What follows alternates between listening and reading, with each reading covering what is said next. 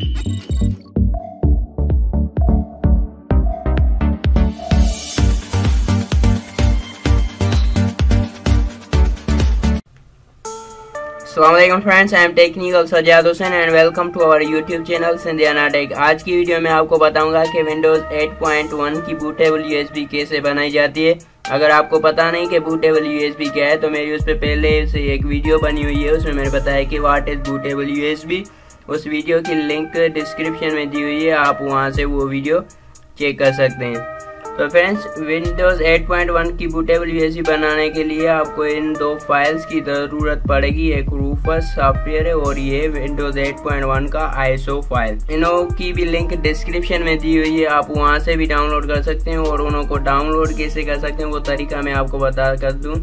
जैसे ही आप उस लिंक पे रूफस वाले लिंक पे क्लिक करेंगे, आपके सामने ऐसी स्क्रीन आ जाएगी। उसके बाद फ्रेंड्स स्क्रॉल डाउन करें और रूफस 3.8 पे क्लिक करें।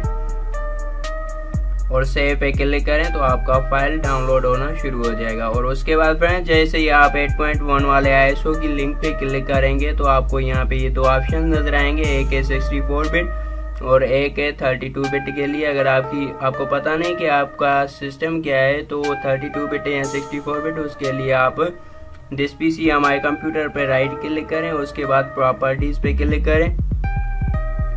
और यहाँ सिस्टम टाइप में फ्रेंड जो लिखा हुआ 32 बिट लिखा हुआ है तो 32 बिट फ़ाइल डाउनलोड करें। अगर 64 बिट लिखा हुआ है तो 64 बिट फ़ाइल डाउनलोड करें। मेरा सिस्टम 64 बिट है तो मैं 64 बिट डाउनलोड करें, जैसे उस पर आपको क्लिक करें। और सेव फ़ाइल पे ओके पे क्लिक करेंगे तो आपका फ़ाइल डाउनलोड होना शुरू हो जाएगा। ये फ़ाइल मेरा ऑलरेडी डाउनलोड किया हुआ है, इसलिए मैं इसको कैंसिल कर रहा हूँ।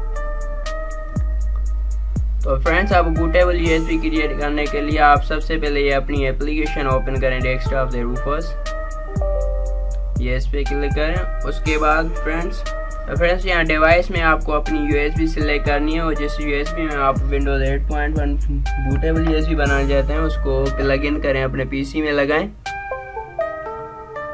जैसा कि देख रहे हैं, जैसे मैंने यू यूएसबी लगाया इसने उठा लिया, आप यहाँ से देख सकते हैं। एक बात फ्रेंड्स और एक, अगर आपकी यूएसबी में डेटा पड़ी है तो उसका बैकअप बना लें, क्योंकि बूटेबल यूएसबी बनाने के दौरान आपकी जो यूएसबी है, उसकी सारी डेटा डिलीट की जाएगी। सेलेक्ट डिस्क आ रहा है सो इमेज में सिलेक्ट करें वो फ़ाइल जो आपने अभी अभी डाउनलोड किया है। और यहाँ जीपीटी और MBR अगर आपको पता नहीं कि आपके पार्टीशन की स्कीम क्या है GPT या MBR तो फिर आप क्या करें, अपने पीसी पे राइट क्लिक करें और मैनेज में जाएँ। डिस्क मैनेजमेंट पे क्लिक करें।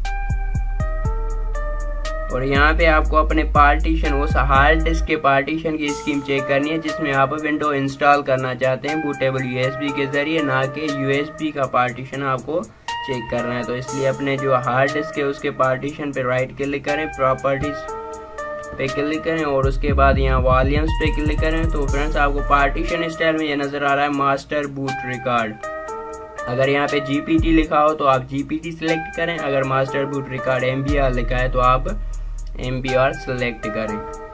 तो मेरा मास्टर बूट रिकॉर्ड है एम बी आर तो मैं एम से ले करूँगा। उसके बाद इसको भी डिफ़ॉल्ट रहने दें और यहाँ पे आप कोई भी नेम दे सकते हैं जो आप देना चाहें। और यहाँ एन टी एफ़ एस और इसको भी डिफ़ॉल्ट ही रहने दें और स्टार्ट पे क्लिक करें। तो यहाँ पे ये यह आपको बता रहा है, अब आपकी यूएसबी जो है फॉर्मेट की जाएगी। अगर आप फॉर्मेट करना चाहें ओके पे क्लिक करें। अगर आपकी डेटा पड़ी है तो उसका पहले बैकअप बना लें, फिर ओके पे क्लिक करें।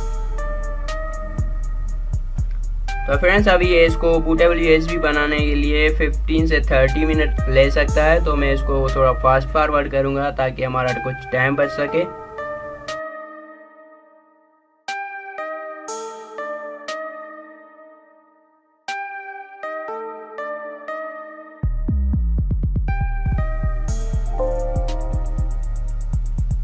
तो फ्रेंड्स आपकी बूटेबल यूएसबी क्रिएट हो चुकी है। नेक्स्ट वीडियो में आपको बताऊँगा कि आप बूटेबल यूएसबी से विंडो 8.1 कैसे इंस्टॉल और एक्टिवेट कर सकते हैं।